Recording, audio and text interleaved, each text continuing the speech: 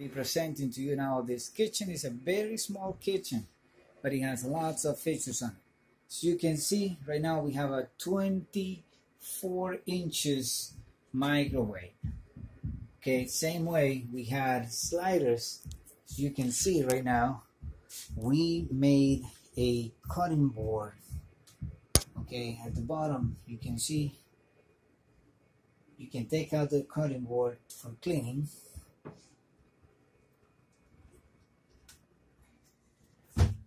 and then he has second drawer and then at the bottom you know another drawer for recycling and trash.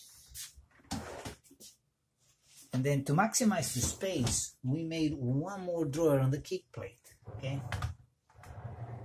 It's one more drawer. So this was a kitchen we didn't have really too much room same way we have over here an 18 inch dishwasher. It's an 18 inch dishwasher, then a 24 inches sink, uh, which has a drawer, a tilt drawer, and small cabinet. Now, right here we can see the pantry room.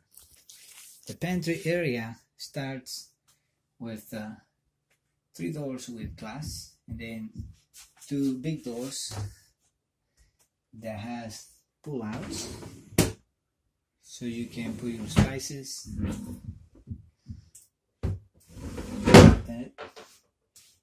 Anyway but it's working. And then at the bottom the soft closing system you have again you know the kicked plates to be used as drawers so this is a small kitchen that can be fitted in a very small space. We did have some lights under the cabinet lighting and nice knife holding.